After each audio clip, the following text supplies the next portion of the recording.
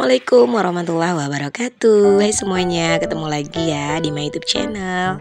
Mira Ismirna. Kali ini aku bakal share lagi video aktivitas sehari-hari sebagai ibu rumah tangga yang tinggal di desa. Dan seperti yang dilihat di awal video ya teman-teman Tadi itu aku mulai beraktivitas di jam 4 subuh ya teman-teman. Dan tadi itu aku bangunnya jam 3 teman-teman. Karena sekarang itu hari Senin jadi aku bangunnya jam 3 atau jam 4 biasanya ya teman-teman ya. Tapi tadi itu aku aku tidurnya yang semalam aku tidurnya itu cepat jam 9an gitu jadi bisa bangun lebih cepat gitu. Karena kalau kita bangun lebih cepat itu hari-hari bakal terasa panjang ya teman-teman kalau menurut aku. Tapi kalau udah kesiangan bangunnya nanti kejar-kejaran uh, masak buat anak-anak beresin anak-anak bagi ke sekolah juga. Nah di sini aku masak uh, sambal kacang panjang ya teman-teman. Ini tuh kacang panjang aku iris-iris kemudian aku goreng dan cemplungin ya teman-teman ke dalam minyak. Seperti yang dilihat. Dan kacang panjangnya itu aku masak sambal barang ini teman-teman. Barang ikan asin rebus. Ini tuh gak asin-asin banget ya teman-teman. Tapi itu ikan asinnya bukan di seperti ikan asin biasa tapi ini tuh direbus teman-teman oh, sama penjualnya ya. Bukan sama penjualnya tapi sama produsennya tentunya. Dan ini tuh aku keluarin dulu isi-isi perutnya dan aku buangin tulangnya ya teman-teman. Dan aku belah-belah gitu kecil-kecil. Karena kalau ada tulangnya itu anak-anak eh, bakal nggak eh, makan gitu teman-teman. Kalau dia lihat tulang aja dikit bakal nggak dimakan dibiarin aja. Dan di sini aku udah, udah setengah matang ya teman-teman ini untuk kacang panjangnya. Dan untuk kuali di sampingnya ini aku mau mindahin gulai yang uh, sore kemarin itu gulai apa sih? Aku lupa itu gulai terong sama ikan kalau nggak salah teman-teman ya dan ini aku mau potekin cabe. Kemarin dibeli sama Pak Su itu di kedai karena uh, yang uh, food trap di dalam kulkas kemarin itu cabenya udah habis. Jadi dibeli di kedai gitu sama Pak Su. Dan ini aku potekin ya teman-teman. Ini cabenya seperempat. Di sini cabe seperempat udah 12.000 naik lagi teman-teman dan itu telur ya teman-teman. Di samping itu habis aku cuci teman-teman. Pas juga uh, beli gitu telurnya satu papan gitu ya teman-teman.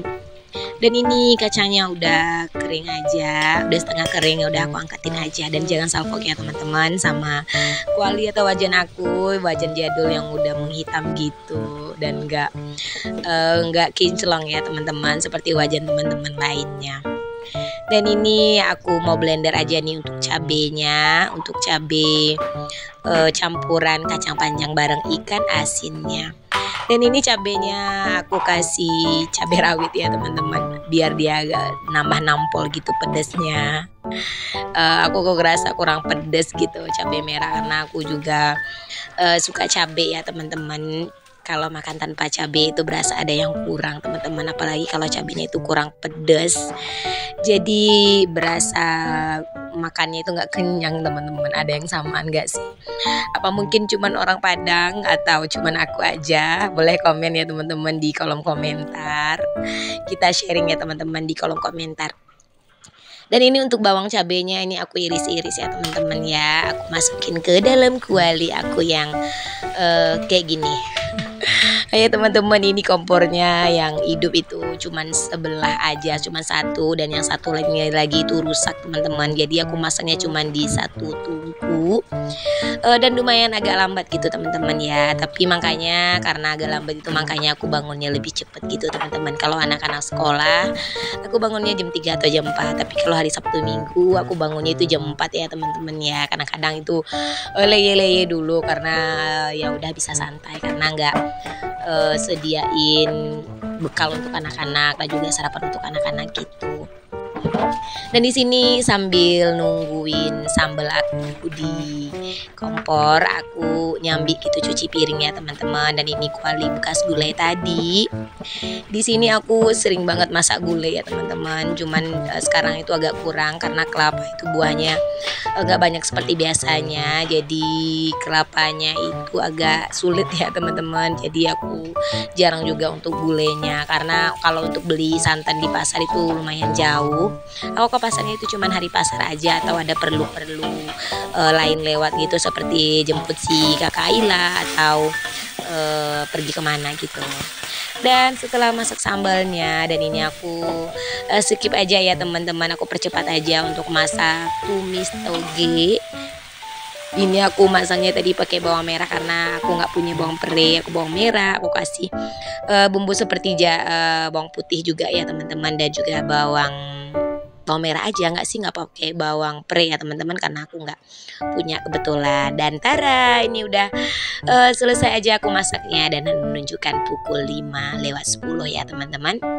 Dan ini bekal anak-anak udah aku siapin juga ke dalam kotak bekalnya dan ini untuk si kakak Ila ya teman-teman. Dia pakai sayur dan untuk si abang Aska itu nggak pakai sayur ya teman-teman.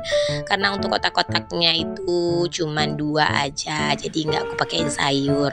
Kalau dimasukin ke dalam nasi nanti takut basi atau nggak enak gitu ya teman-teman. Walaupun si abang Aska pulangnya itu cuma sampai jam 10 dia udah makan teman-teman. Kalau si kakak Aila itu sebenarnya untuk siang teman-teman. Tapi kadang-kadang kalau aku nggak masak uh, aku beli uh, beli bekal di sekolah aja. Karena di sekolahnya itu kan ada yang uh, jualan khusus untuk sekolah gitu. Dan lanjut aja nih ini tuh udah selesai subuh ya teman-teman. Aku udah sholat subuh udah mandi langsung aja nih aku uh, buka-bukain untuk kain pintunya. Dan sekarang itu udah jam 6 lewat teman-teman dan begini nih penampakan di depan rumah aku pas jam 6 lewat itu masih kabur-kabur atau samar-samar gitu ya teman-teman. Terdengar nih suara-suara burung-burung berkicauan. Dan di sini tuh lumayan sunyi ya teman-teman. Itu rumah tuh. Rumah di jauh juga ya teman-teman ya. Seperti biasa teman-teman udah pernah lihat ya di depan rumah aku itu agak jauh juga rumahnya. Dan ini rumah sederhana aku di desa ya teman-teman dan ini tuh aku naro kamera ya teman-teman. Aku taruh aja di depan rumah mau ngeliat uh, cuaca yang dari pagi. Ya aku tadi percepat ya teman-teman. Dan aku uh, nyapu rumah sama si kakak tapi ternyata si abang Aska itu aku suruh mandi ternyata dia. Malah nongkrong di depan kamera. Tuh teman-teman aku lagi di dalam rumah ya teman-teman ya. Aku lagi uh, pel tapi nggak aku videoin. Dan ini si kakak uh, seperti biasa ya teman-teman. Dia itu tugasnya itu nyapu. Sebelum berangkat sekolah dia harus nyapu di dalam rumah dan juga di teras rumah ini. Tapi dia apa namanya saling apa sama si Aska tuh uh, disuruhnya si Aska untuk nyusun sendal gitu tapi si Askanya nggak mau. Katanya dia mau mandi. Dan ya beginilah ya teman-teman. Dan akhirnya si abang Aska nggak nyusun sendal teman-teman. Dia malahan ya main-main aja.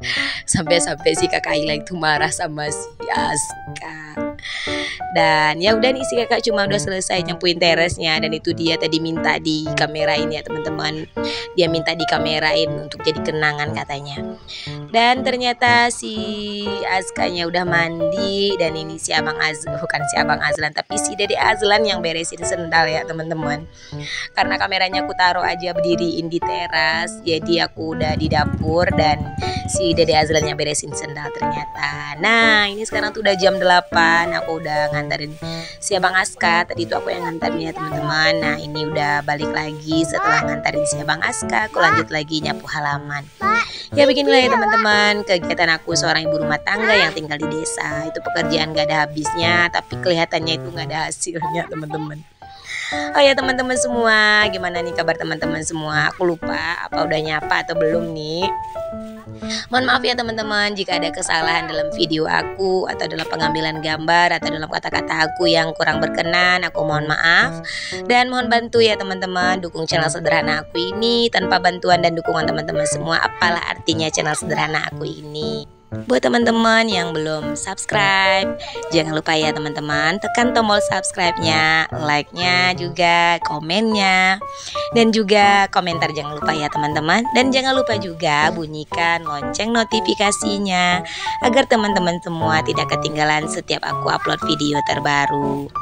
Oh ya teman-teman semua, nggak kerasa ya ini tuh udah pagi aja. Tadi aku shootnya mulai dari jam 4 subuh dan sekarang itu udah jam 8 lewat 10 kalau nggak salah teman-teman. Dan ini aku nyapu-nyapu di samping rumah. Dan mohon maaf ya teman-teman ini nyapu-nyapu lagi. Karena emang aktivitas aku pagi-pagi tuh emang kayak gini ya teman-teman. Dan semoga teman-teman gak bosan nonton video aku yang itu-itu aja. Apalagi kalau nyapu ya teman-teman. Aku sering banget tag videonya. Dan jangan lupa ya teman-teman bagikan video sederhana aku ini ke tab komunitas yang teman-teman punya.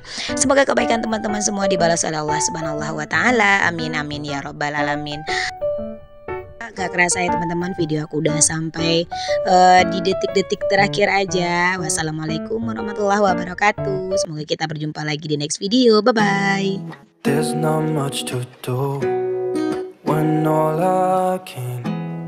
Is thinking about you Not doing well Don't know where you are Cause you're not here It's been way too long. If I could lay down beside you I would, I would. When nothing really matters That's all I wanna do. I hope that you're safe and